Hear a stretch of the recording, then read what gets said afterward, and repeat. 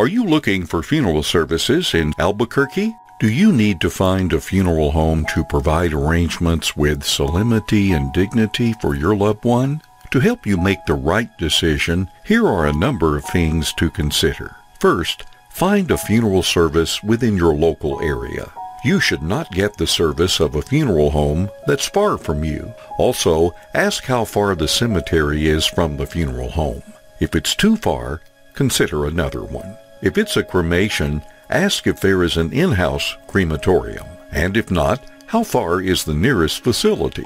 And will they allow any witnessing the cremation if desired?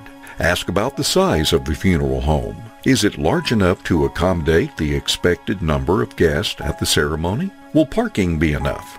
Another point to consider is how many services will be held at the facility that day.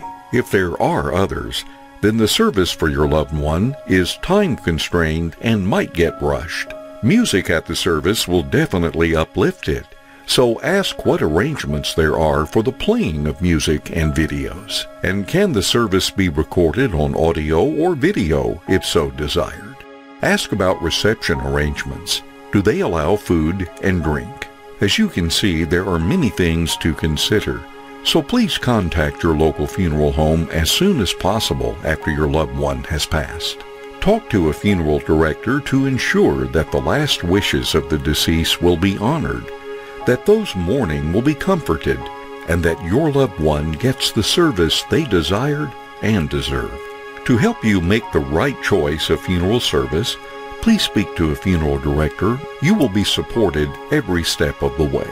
For caring, personalized, and professional services for your loved one in your local area, please click or tap here to call.